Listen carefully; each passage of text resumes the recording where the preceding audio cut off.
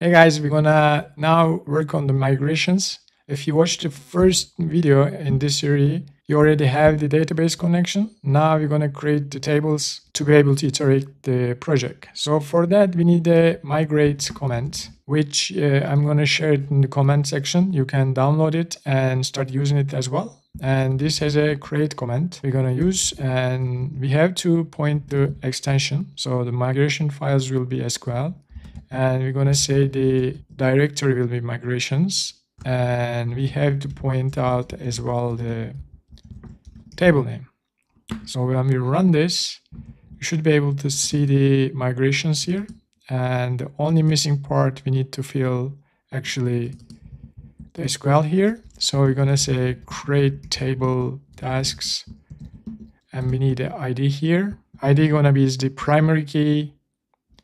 We need a name as varchar, which is going to be 200 characters. It has to be not null. And we're going to say owner can be varchar as well. So say this is going to be 50 characters, not null. And priority will be integer and not null as well.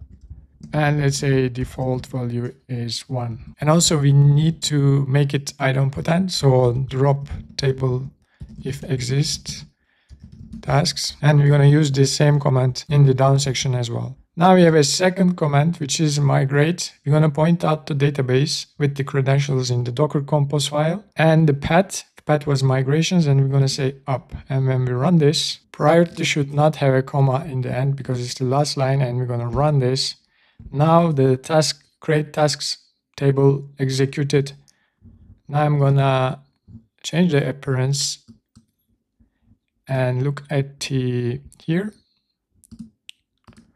I should be able to see the tasks table. Yeah, now that there are no records, but I can see the fields and the table is there. That's how we create the migrations. And we, in the next video, we're going to take it from here and continue working with the database.